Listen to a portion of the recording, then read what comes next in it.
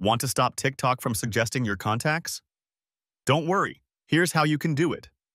First, make sure your TikTok app is up to date. If not, update it from the App Store or the Google Play Store. Now, open the app on your phone. Now tap your profile icon in the bottom right corner. Next, tap the three lines at the top right and go to Settings and Privacy. Scroll down and tap Privacy. Here, find the option called Suggest your account to others. Now, you'll see a few options like Contacts, Facebook Friends, and People you may know. To stop TikTok from suggesting your profile to your contacts, simply turn off the toggle next to Contacts. You can also turn off the others if you don't want TikTok to suggest your account to anyone connected to you. And that's it. TikTok will no longer recommend your profile to people in your phone contacts.